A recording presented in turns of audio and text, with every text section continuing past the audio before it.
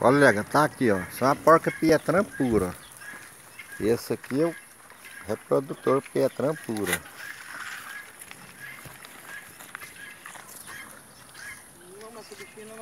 Tamanho dele.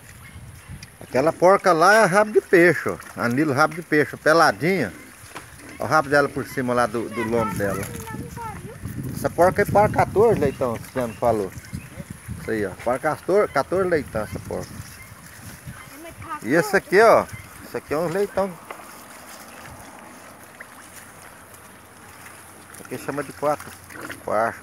Quatro. O Pietran, quatro pernil. O Pietran, o nome certo deles. Os milhozinhos.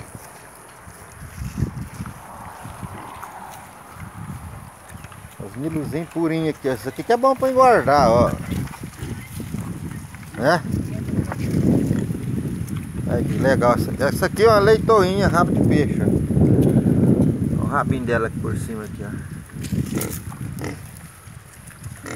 Rabo de peixe lá, olha lá. Olha o rabinho dela lá. A diferença. Olha lá, a diferença lá, esses aqui são os pietrans, ó.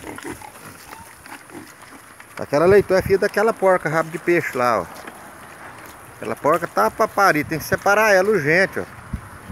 Pra não ter problema na aparição, senão os outros porcos comem os filhotes. Pessoal, então tá mais um vídeo aí. Mais uma criação de porco. Olha os coxinhos aí, ó.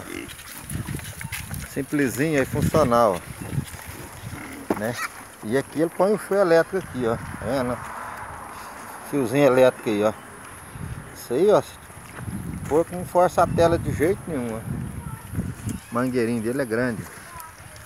Então tá aí, pessoal. Mais um vídeo aí. Deus acima de tudo, Deus seja louvado. Confio no Senhor mais fará. Vou mostrando novidades aí. Inscreva no canal.